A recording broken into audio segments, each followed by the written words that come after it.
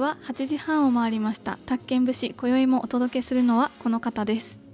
こんばんは、宅建武士です。あれ、どんなでしたっけ？もう覚えてないですね。はい、えっと、はい。ちょっと2週空けてしまって、はい。若干ラジオボケしてるんですけど。どこまで喋ったかも覚えてないぐらい。ちょっとはい。2週ちょっといろいろといあって、まあ、1週はまだちょっとコロナうん。が周りで流行ってて、で自分も、あのー津堅島に出張行く前にうん。コロナになってたんで、自分はかからなかったんですけど、でもただちょっと万が一まなみさんに移すようなことがあるとまたちょっといろいろと、まあ、FM 技能にもあの迷惑かけるし そこはちょっとあの控えとこうと思ってうんうん。1週は休んだんですね。はい。で先週が、えっと、資格試験があって今ちょっと立て続けに資格試験10月が宅建なんですけど、はい。その前に2つちょっと資格をクリアしないといけないのがあって前のこの2週休む前の放送ではい。ちょっと話したんですけど、うん。投資不動産販売員っていう資格があってーはい。これが、えっと、去年から、えーっと資格の制度がスタートして、うん。去年は不動産会社のみはいなんですね。あーで今年から一般の、えーっとあ。人たちに公開してで誰でも受け入れますよ、はい。みたいなうん。資格なんですけど、うん。この資格がどういった資格かっつったら今この投資用のマンションだったりとか、うん。家だったりとかっていうのを販売するのにあたってなんだろうな常識ある行動、まあ、例えば勧誘行為があるじゃないですか、はい。この物件を買ってで年間でこんだけの収益を得ますよっていうメリットだけを伝えるのダメなんですね、はい。販売するときに。ちゃんとメリットも言いながらデメリットもっていうこのなんかその中での法律のお話えっ、となんだろうな。うんと賃貸借のお話だったり、うん。不動産のこの宅建業法のお話だったり、うん。消費者契約法とかって丸山さんわかります？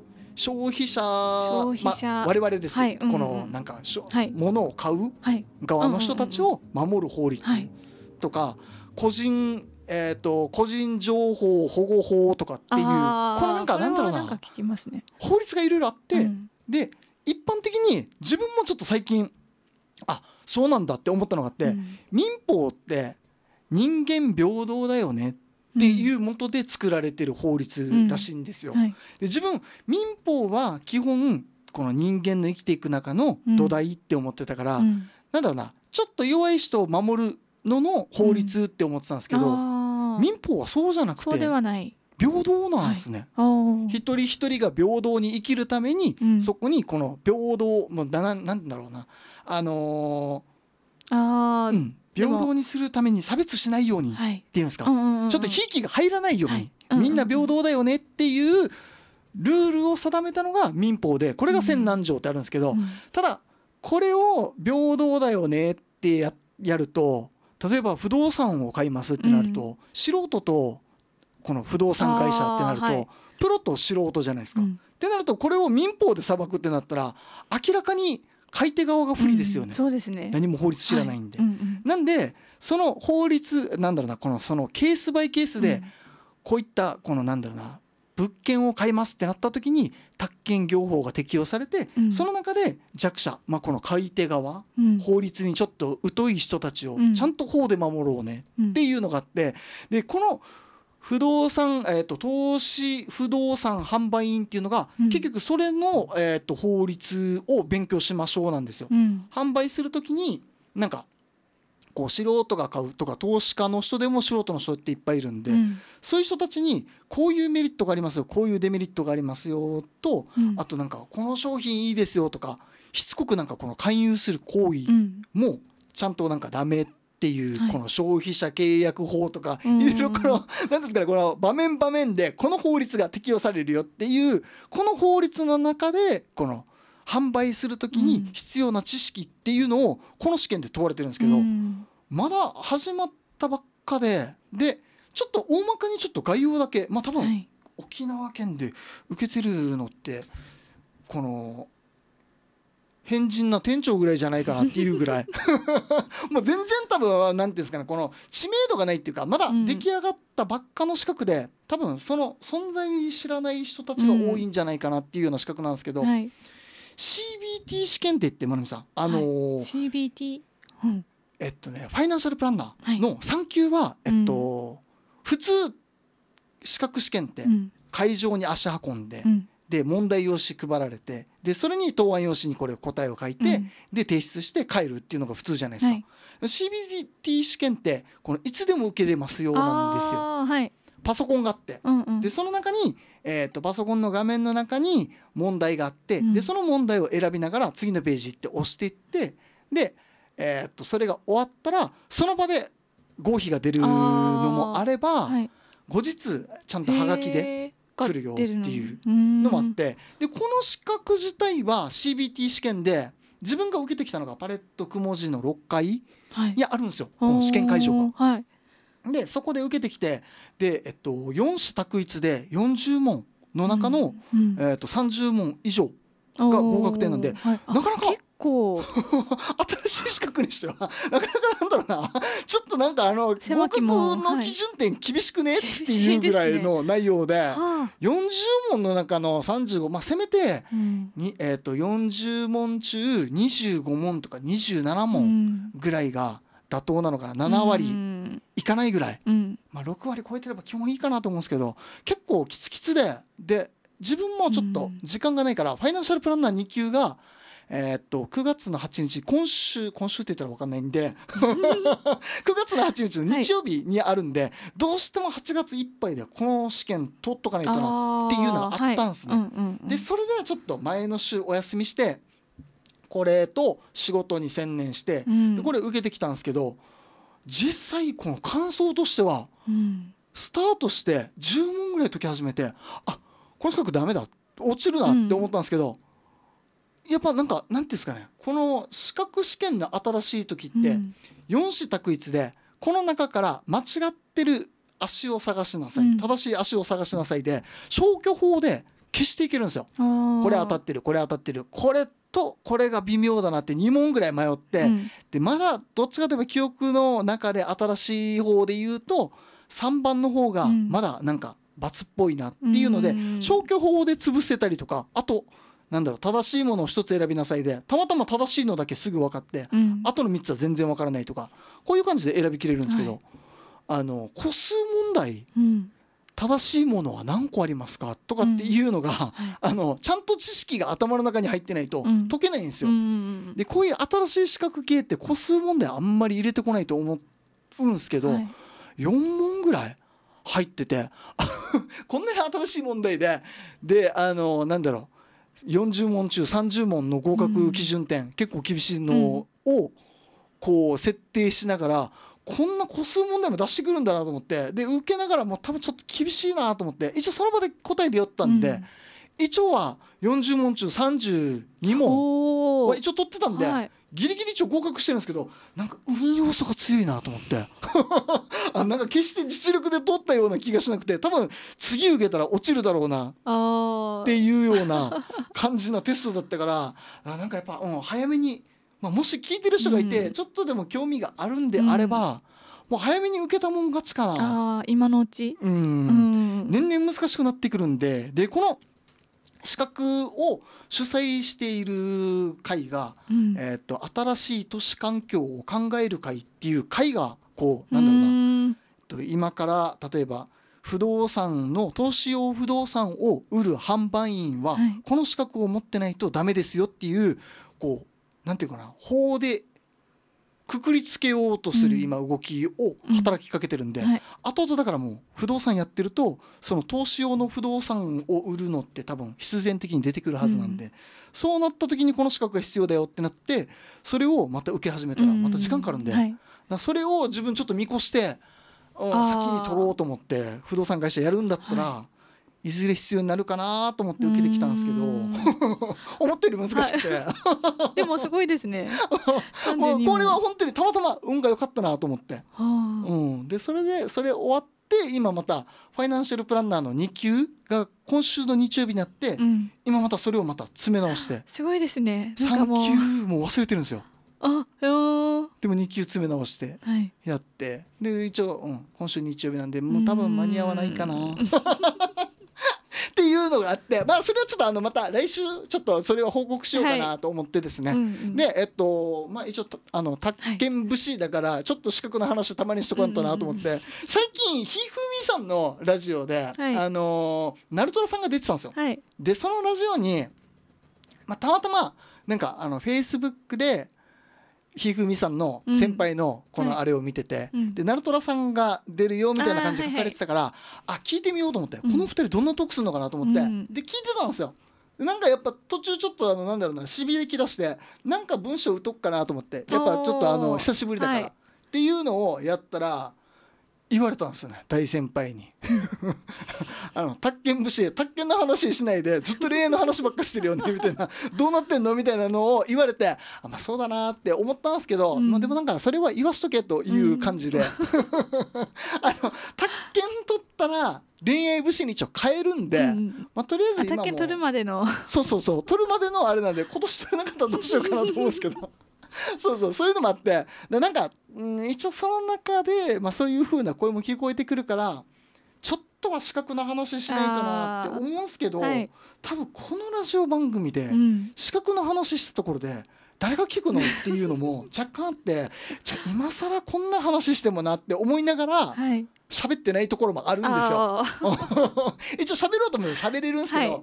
そういうのもあっていろいろあるんですね。そうなんですよ思うところが。思うところが。うん、だから、うん、喋った方がいいのかなと思うけどでも喋ってもちょっと面白くないしな。ここを熱を帯びてあんまり喋って、うん。これをフルで番組全部この使うと多分聞く人いなくなるだろうなって思って まあそこら辺も配慮した上ではい。今あのラジオを進行していますので、はい。もうちょっとなんかなんだろう優しい目で見届けてくれれば いずれあの恋愛武士に戻しますんで、そこは。うん。はい、で以上ですね。一応はい。宅建武士らしいちょっとトークを最初に置いて、でえっと本題なんですけどここからが本題なんですけど、はい。えっとこの2週間ちょっとまあ資格もそうでコロナもそうだったんですけど最後の1週間は結構仕事もガツガツやってて結構夜遅く、まあ、2時3時とか、まあ、最後の日とかちょっと徹夜しながらっていう感じだったんですけどうん。その中で久しぶりに仕事しながらラジオ聞いてて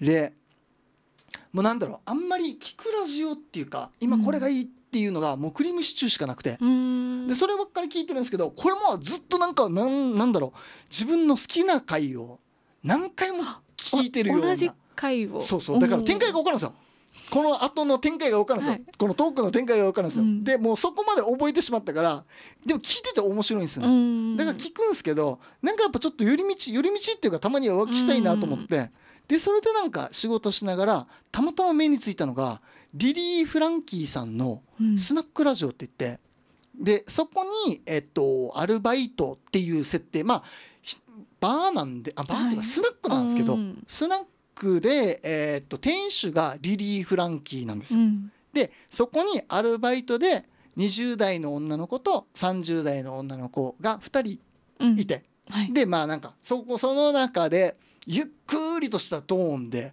うん。やっぱなんかあのなんていうんですかねこのなんだろう声のトーンリリー・フランキーさんのこの声のトうーんンと話すテンポうん。を聞いてるとあめちゃくちゃなんだろうななんかこの聞き心地がいいっていうんですか、うん。ちょっと太い声でうん。ゆっくり喋る感じ。耳に入ってくるんですよ。うん。で自分のこの宅建節を聞き直してる時にガーって喋って ガーって終わっていくからなんか耳に入ってこないんですよなんか雑音がずっと永遠にあの横で流れてるような感じで。あこれを目指さないとなってちょっと思いながら聞いてたんですけど、この中でなんかいろいろこのなんだろうな恋愛の話をするんですよ。うん。でこのリリー・フランキーさんのこのすごいところっていうのがうん。長澤まさみさんがいるじゃないですか。はい。ん？長澤まさみさんまなみさんわかります？で自分もちょっとネットニュースとかでしか見ないんですけど、あのコンシコンシェルジェントでしたっけ？ドラマがあったのわかります？あ,、うんうんの、うん。えっとひ東のん何だったかな。なんか うん。コンフィデンスマン。そうそうそうそうそうそう。そう、うんこれのあのドラマの中で、うん。ちょっとあのなんていうんですかね。ちょっと太ってる人、うん男の人うんうんがいてでこの人はなんか生理的に受け付けない、うん。長澤まさみさんから見るとはい。受け付けない、だからなんか会話もしないっていう、うんちょっとなんだろうな、うん。この記事を読んだ時にあガードが硬いっていうか、うん。なんだろうな。ちょっと好き嫌いがはっきりしてる女性なんだなっうん。ていう印象があって、うんでなんかそういう女性って基本的に自分の今までの経験談なんだろうな、うん、とその女性の懐の中に入っていきにくいんですよ。うん。なんかいっぱい扉があって、うん。でこの扉を開けるとはいもうすぐ会話してもらえないとか無視無視されるとか。なんかそういうなんかちょっとなんだろうなちょっと癖が強い女性うん。っていうなんか印象があって、うん。この記事読んでて、でその中でこのなんだろうな、まあ、リリー・フランキーさんがそこを知ってたかどうかは別なんですけど、はい。この同じなんだろうドラマだったかなを共演するのにあたって、うん。どんなやったら仲良くなるかなっていうのを一番最初に考えるらしいんですよね。でその時にパッて思いついたのが交換日記だったらしいんですよ。交換日記？すごくないですか？この番組番組っていうかまあその多分な、はい。連続的なものの収録があるから、うん。何回も顔合わすんで、うんうん。その中で多分直接こうなんだろうしつこく会話するのもうん。なんだから、うん。まずはなんだろうお互いの思ってるのをあ顔を見ないでー。はい。文字で？文字で起こして、っていうのを考えたんでしょうね。うん。でそれをやってで今ではなんかこのなんていうんですかね困った時にうん。電話かけて相談に乗ってもらうとか、うん。困った時に会って聞いてもらうとか、うん。そういう関係らしいんですよ。なんかこの女性の扱いが上手っうんうんうん。ていうふうにネットでも書かれてて、はい。あこれいいなと思って自分もそうなりたいと思ったんですけど、うんこれはもう多分 あのなんだろうな天性的なものだと思うんですよ。なんか相談されやすいい人って。うん。ですよね。うん。なんかとかなんかあなんですかね。優しいとか、うん。聞き上手だけでは、うん。なんだろうないろんな女性がじゃあこの人にじゃあ相談するかっつったらそうではないと思うんですね。ね一般的なあれですよ、はい。今まで見てきた感じ、んやっぱ相談される人って、うんいろんな人から相談されるんですよ。はい。でこのその人柄を見てて相談される人ってもちろん聞き上手うん。だし、もちろんある程度のなんかこの経験的な経験値も豊富ではあるけど、それを上回る人たちっていっぱいいるんですよ、うん。世の中。はい。でもあえてこの人に相談するってことは、うん。やっぱりちょっと天性っていうかまあこの人が持ってるなんだろうなあの得っていうんですかね、うん。じゃないかなって思って。うん。だから多分自分がそれを、まあ、どんなに太い声を出してどんなにゆっくり喋ってどんなになんか渋いおじさんになろうが多分その人間にはなれないだろうなって あってー思ったんですね。はいでなんか女性から見るマナミンさん、ん。まあ女性から見るっていうかちょっと例外的なマナミンさんから見る なんだろう相談しやすい男性像ってはあ。逆にどんなんなんだろうっていうのをうん。ちょっと聞きたいなと思って、うん。羨ましいなと思って男性から見ると。そういう人が。そういう人が。ん。なんかあります？なんかその相談に乗ってくれるだったらこういう人がいいなみたいな。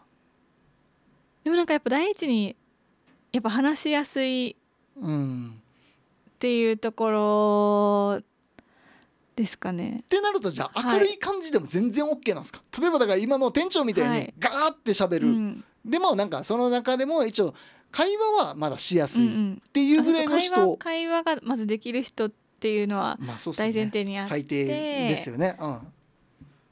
で、うん、例えばなんかこうね結構うんうんそのテンポが速めとかうんうん。だとしてもうんそういう人が全部なしかって言ったらそうではないと思うんですよね。でもそれは何だろうと思ってあ今あそうではないんすか？ない気なんかテンポが速い人イコール相談相手には不向きだなっていうなんか変な概念が自分の中で。はい、でなんかそのリリー・フランキーのこの会話術を見てると、うんあまあ自分が持ってる要素とは全く真逆だなっうんて思ったんで、うんだから自分みたいな人間は多分そこには該当しないのかな。っうんて思ったんですけどはい。それは一概的にそうではないってこなんかとでいいんですよね。全部が全部うん。その、ね喋るテンポが速いとかっうんていうのでなんかなしになるんじゃない気がしますけどね。おーなんかその、うん。まあ、喋るのが例えば喋るテンポとかそういうのが速くてもなんだろう。ん。なんかあよく聞いてくれるとか。あー。これってまなみさん前に話した、うん。なんかこのなんていうんですかねアドバイスを求めてるんじゃなくて、うん。女性はただ単純にうんうん。聞いてほしいんだよ。っていう、ね、そのパターンが多いうんですよね多分、じゃあ変な話ですけど、そういう相談したくなるような男性って、うん、別になんか例えばですよ、うん。まなみさんが彼氏がいて、うん。で今こういう感じでうん。でちょっともうなんだろうなぎぎくしゃくし始めて、うん。それをなんて言うんだろううんと修復したいっうん。ていうこの悩みを持ってるとするじゃないですか。うん。はい。でそういう時に相談する男性がうん。ずっと「そうだねそうだねううんん、だよね」っていう、なんだろうな全部受け身っていうんですか。はいはいはい。うんうん。ってなると ちょっとねきついっすよ違いますよね。うん、きついっすよね。うやっぱ適度にだからやっぱでもなんだろうなだからそれ聞くと、うん。なんかアドバイスも自分も、うん。なんかあんまり思ってるのをストレートにこうした方がいいよっていうのもう、ん。うん違うのかな、あーんんだから聞かれたら答えるくらいでいいんじゃないですかね。多分。でこれが的が外れてたら、うん。やっぱ女性としてはちょっと嫌なんですよね。的が外れてたら。う、ん。要は多分はい、答えが決まってると思うんですよ。うんでまあ多分人間ってそうだと思うんですけど、例えば FM 技能案にいて、うん。で FM 技能案をうん。やめようかな、続けようかなって思うこの人生のこの選択があるじゃないですか？はうんうんでこの選択を人にする時点ではい。もう決まってると思うんですよ、自分は。はい。もうやめたいなって思ってるけど、うんうんなんかそこになんかもうちょっとなんか背中を押してほしい、うんうんうんきっかけが欲しい。だから人に相談して、はでやめれば、うんうん。っていう言葉を待って、うんうん。でそれをきっかけにやめる、うん。後押しを待ってるみたいなやつですよね。うん。あーね確かにでも女性はなんかそれ多い気がしますよね。うんなんかうんでなんかだからそれと真逆のことを言われると、うん。あこの人に相談しても、うん。大したことが返ってこないから、うん。違うなって思ってしまうんですよね。イコール。うん、って思うこともあると思うんですけど、うん。そうその例えば理由がちゃんとなんかちゃんとしてたら例えばじゃあうん。まあ、その辞める話を相談した時に、じゃあ本当は自分は辞めたいけどはい。いやもうちょっと続けた方がいいんじゃないみたいな感じで言ったとして、うん。でえなんでってなるじゃないですか、はい私もはいはい。はいってなった時に言うその理由がうん。そのななんだろうちゃんと的を納得し納得できるような内容だったらあー。あ確かにとか、うん。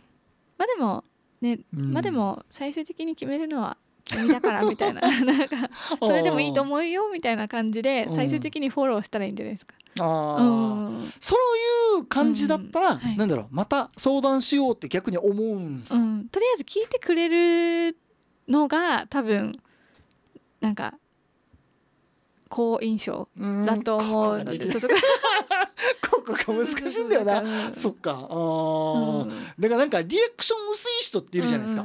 なんかちゃんと相づちは打ってくれてるけど、うん。なんだろうな。そこにちゃんとす寄り添ってちゃんと考えてくれてるっうんていう人ってうん。結構多いと思うんですよ。う。ん相づちはちゃんと打ってるんですよ。そうだよねって。打ってるけど、うん。なんかこのなんだろうな。意見を言わないイコール、うこの会話真剣に聞いてる？うん。って思いますよね。あうん。ね、だから何かしら、うんうん。ねレスポンスはやっぱ欲しいじゃないですか。